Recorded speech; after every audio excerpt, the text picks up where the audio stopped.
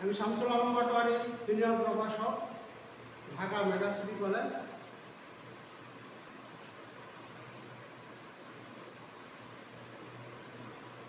Hello, প্রিয় শিক্ষার্থীরা, কেমন আছো? ভালো আছো সবাই? ওকে, সবাই ভালো থেকো।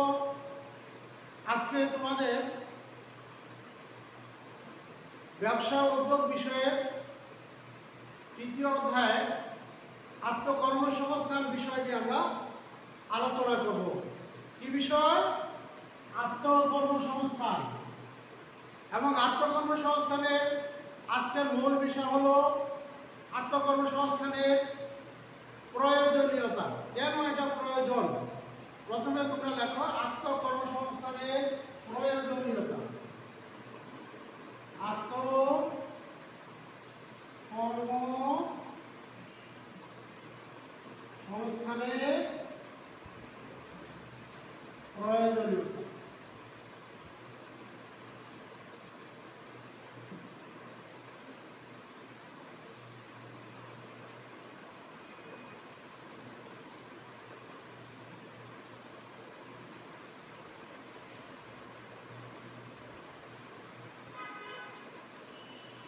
আত্মকর্মসংস্থানটা কেন প্রয়োজন? সে সম্পর্কে আমরা একটু জেনে নেই। বাংলাদেশ একটি উন্নয়নশীল দেশ।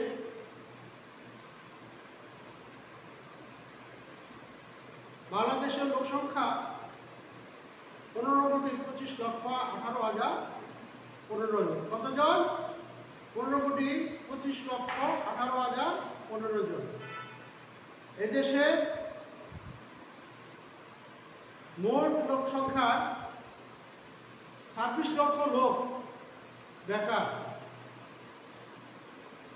এবং কর্মক্ষম যারা কাজ করে খাইতে পারে, লোকের সংখ্যা পাঁচ কোটি সাতষট্টি লক্ষ।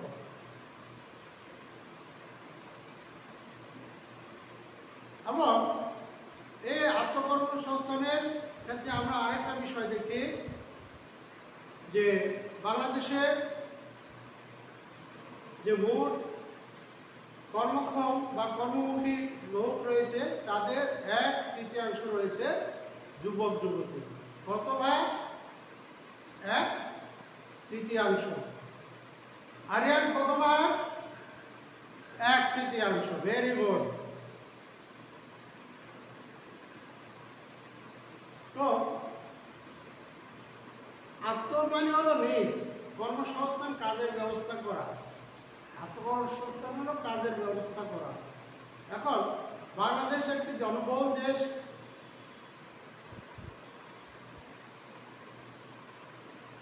আমাদের দেশে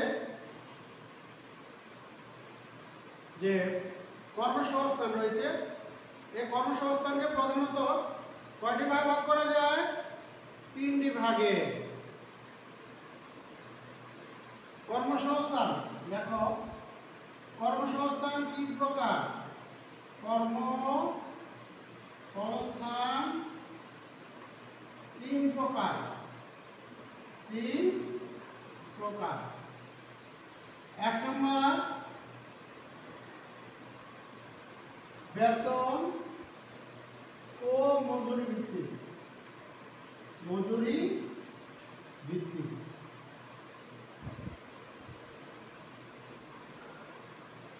দুই নম্বর আত্মকর্মসংস্থান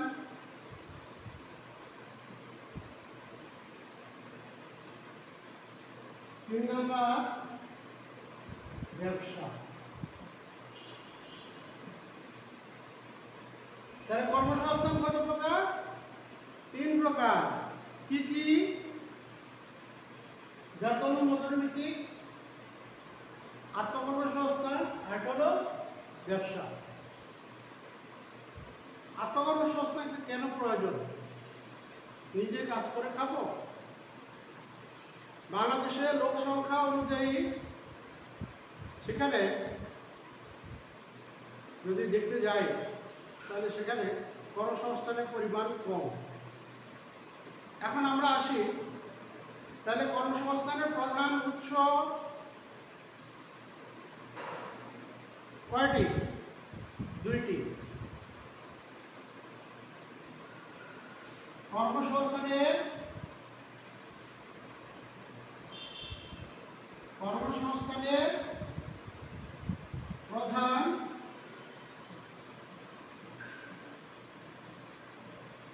উৎস দুইটি সরকারি ও বেসরকারি প্রতিষ্ঠান। সরকারি ও বেসরকারি প্রতিষ্ঠান। সরকারি ও বেসরকারি প্রতিষ্ঠান আমাদের দেশে লোক সংখ্যা অনুযায়ী কর্মসংস্থানের বা কর্মক্ষেত্রের পরিমাণ খুব সীমিত। এই সীমিত হওয়ার কারণে আমাদের দেশে লোক জনসংখ্যার একটা বিশাল অংশ বেকার জীবন যাপন করে। কি জীবনযাপন করে? বেকার জীবন যাপন করে। এই জন্য কি করতে হবে? আত্মকর্মসংস্থান নিজেকে নিয়োজিত করতে হবে। কি করতে হবে? আত্মকর্মসংস্থানে নিজেকে নিয়োজিত করতে হবে। তাহলে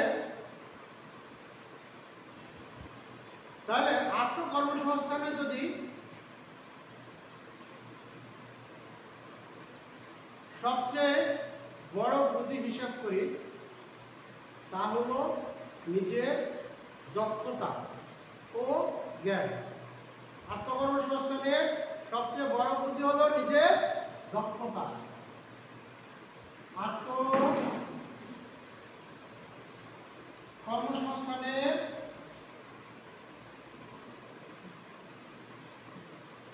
সবচেয়ে বড় পুঁজি হলো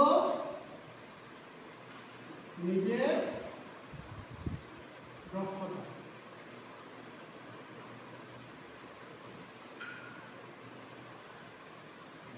সবচেয়ে বড় পুঁজি কি? নিজের দক্ষতা। সবাই যদি নিজের দক্ষতাকে কাজে লাগিয়ে জীবিকা নির্বাহ করতে পারে, আয় উপার্জন করতে পারে, তাহলে সেক্ষেত্রে আর মানুষ বেকার থাকবে না। আর মানুষ কি থাকবে না? বেকার থাকবে না। মানুষ সুন্দরভাবে আয় উপার্জন করে, জীবিকা নির্বাহ করে, দিন অতিবাহিত করতে পারে। আরেকটি বড় বিষয় হলো, আত্মকর্মসংস্থানের ক্ষেত্রে বয়স কোনো সমস্যা নয়। আত্মকর্মসংস্থানের ক্ষেত্রে আত্ম কর্ম সংস্থানের ক্ষেত্রে বয়স কোনো বোঝা বা সমস্যা নয় বোঝা বলা যায় বা সমস্যা নয়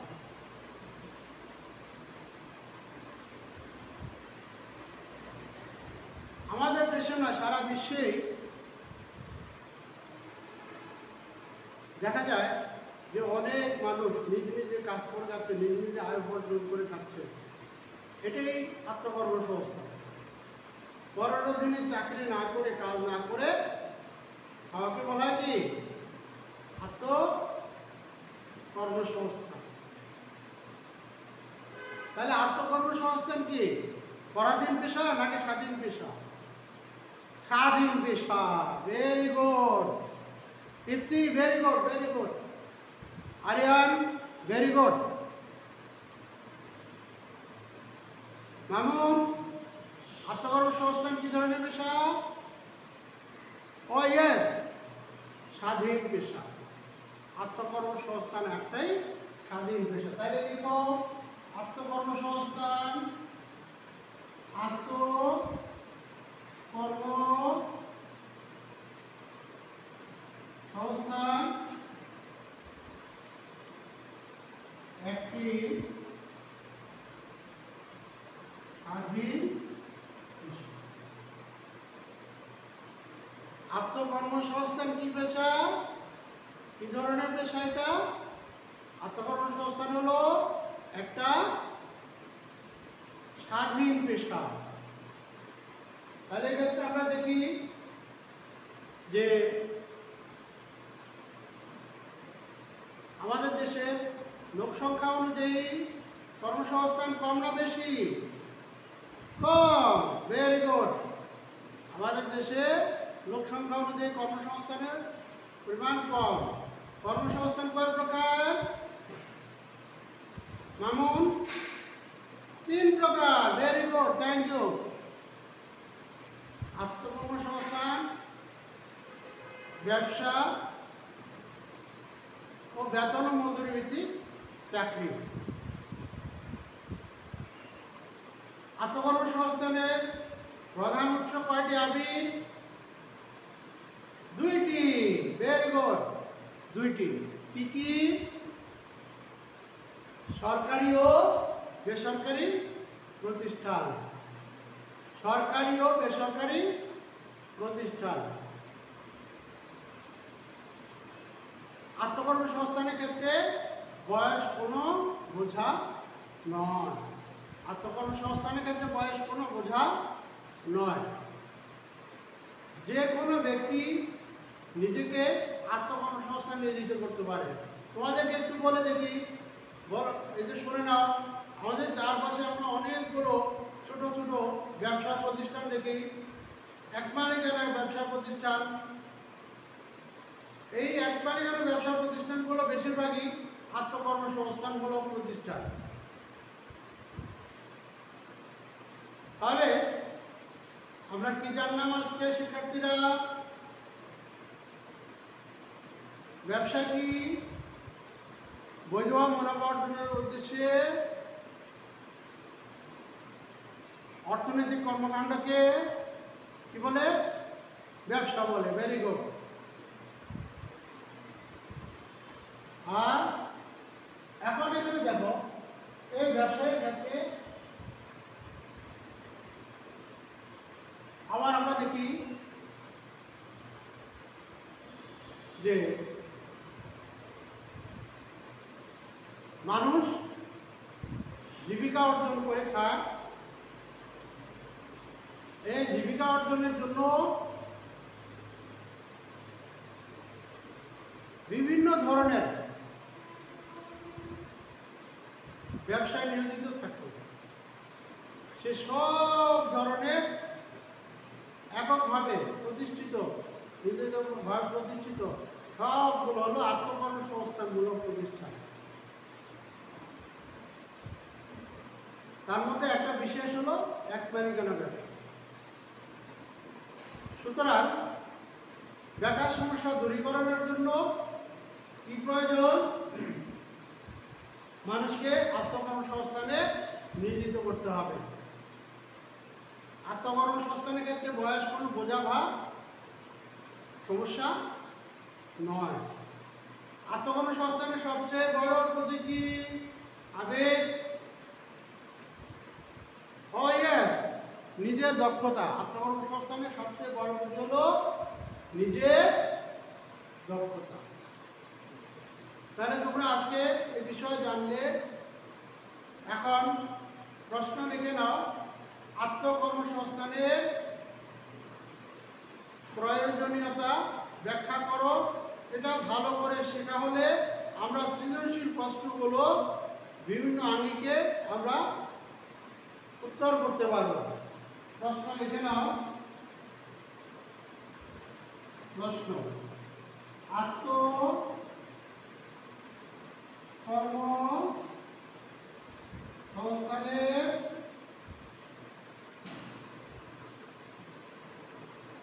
প্রয়োজনীয়তা ব্যাখ্যা করো। তোমরা এই প্রশ্নটা যদি ভালো করে শিখো, তাহলে যে কোনোভাবেই আত্মকর্মসংস্থানের প্রয়োজন কেন? সেটা উত্তর করতে পারবে। Okay best of luck see you again thank you dear student আল্লাহ হাফেজ।